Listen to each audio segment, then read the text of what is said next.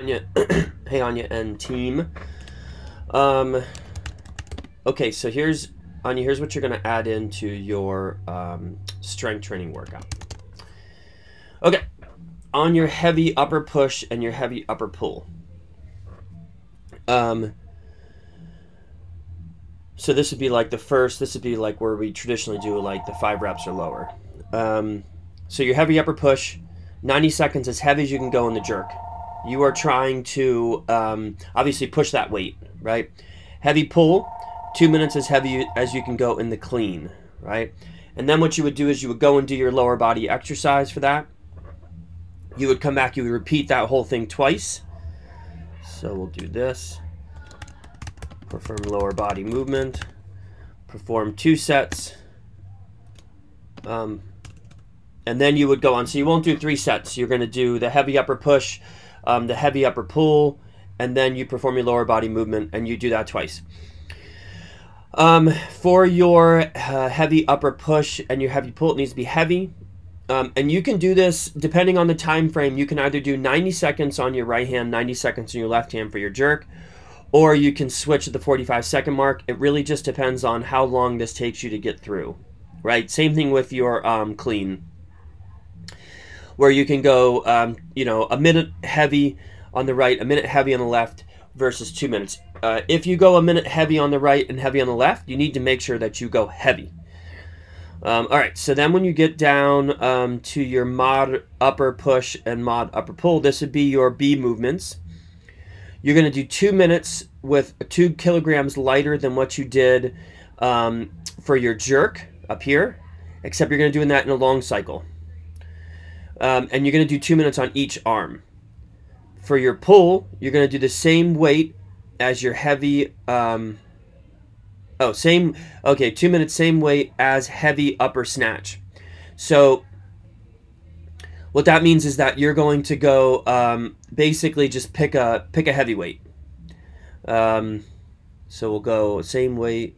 So heavy, heavy upper snatch. So that's basically just um, two minutes on your right side, two minutes on your left side, and then you're going to go a heavy, heavy um, upper upper body um, heavy heavy snatch. Then you're going to do whatever the lower body movement is, okay, um, and you're going to get 25 reps of that, or whatever the the goal is. You're going to get those reps in one set. So I only want one set of this stuff. One time. All right, the last part of the workout.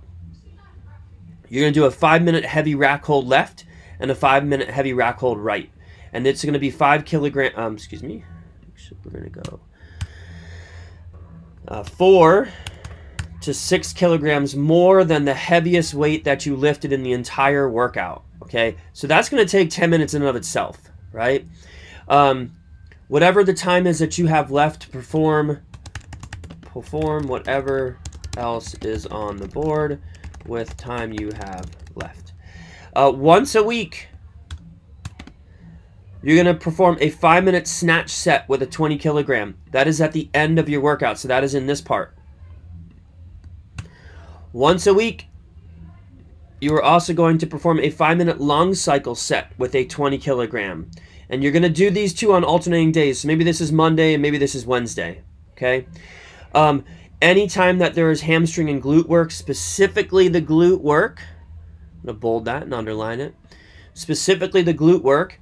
Uh, make sure that you perform those exercises. Uh, you are also going to do five sets of a 10 second hold on TKEs on both sides.